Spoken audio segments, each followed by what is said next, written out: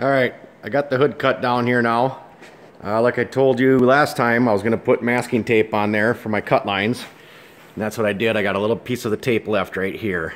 So I ended up running three quarter inch tape around the belly pan and around on the hood. And then you can see my cutoff wheel. So actually what I end up taking is about 7 eighths of an inch off the hood and off the belly pan. So my side bumpers here, what these are is off of a TX, you know, 76, 79, 80, I think even is the same too. But that's a TX bumper, um, cut down at the corner, you know, before it comes around the front here. So these work really good for holding these hoods in places on these uh, PDC clones. Um, did it last time, I'm doing it again. You can find these bumpers anywhere all bent up, usually bent in the front because somebody hit a tree or used it to tow the sled out of the snow. So these bumpers, you can get them super cheap if they're bent. Um, nice straight ones, pretty expensive. But I've bought a couple sets of these now from a guy in Idaho. Uh, his name's Bruce. Uh, buy a lot of parts from him. Great guy to deal with. Um, he cuts these bumpers actually down, slides them in a small box and ships them to me. That makes the shipping a lot cheaper too. So here's what we got going on for fit right now. Um, I'm pretty close to where I'm gonna be when I'm done here. Uh, fits nice down on the bottom down here.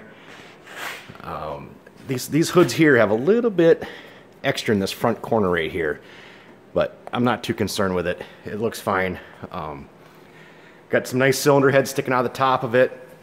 Now this Michigan Enduro sled, from what I understand, the way they cut these cylinders down so that they could be anywhere on the engine. You could put an outside cylinder in the center. So uh, I'm gonna end up be putting bigger heads on here. I'm putting these V finned heads on here. So the head will actually be out to here then right out to the edge of the hood. Uh, so it'll really fill this whole opening in. So I think I'm gonna leave the hood at the height where it is so that when the hood is on, you won't see the cut down cylinder then. The head will come all the way out to the edges of the hood and basically fill that whole hole, the whole hole in. So uh, I think I'm right where I wanna be with the, on the height.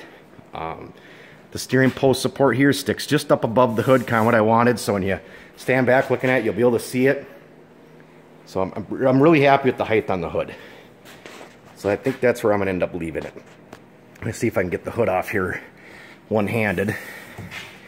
So,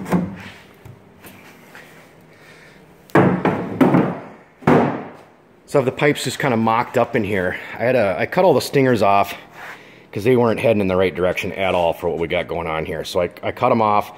I'll end up buying new tubing to uh, redo the stingers. I'll do turnouts coming out of the corner of the belly pan and stuff. Uh, should look pretty sharp. I had to cut and reposition the pipes to make them fit tighter and to follow the engine tighter. Um, so I'll probably be redoing a lot of this head stuff up here. Other people have done it. Uh, I'm going to try and straighten all this up and make things look a lot nicer up there. Uh, ultimately, these pipes are ended up probably getting ceramic coated to kind of help with some of the under the hood heat and stuff, and so we don't risk melting the bottom of the hood. And it'll, it'll look sharp too. So uh, this sled is going to be a rider when it's done. Um, it's not going to be a correct sled, so really anything goes. Whatever I want to do to it, that's what I'm going to do. I'm going to make it look sharp.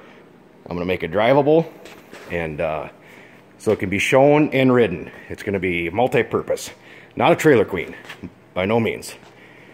So that's where I'm at now. Uh, like I said, we got the hood fitting pretty close now. Might be small adjustments yet, but um, I'm happy with it. So uh, I don't know if the last video you guys spotted this little project we got going on right now. Uh, my son's been working on this. It's an 85 IROC that he bought. And so right now he's currently restoring it.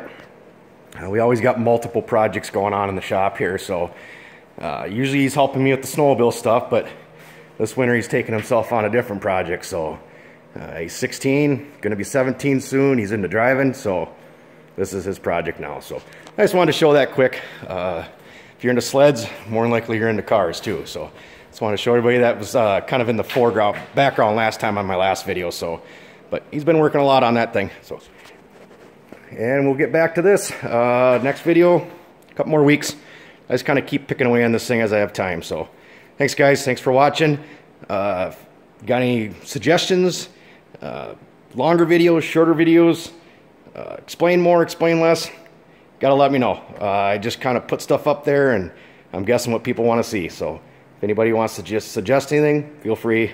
Thanks.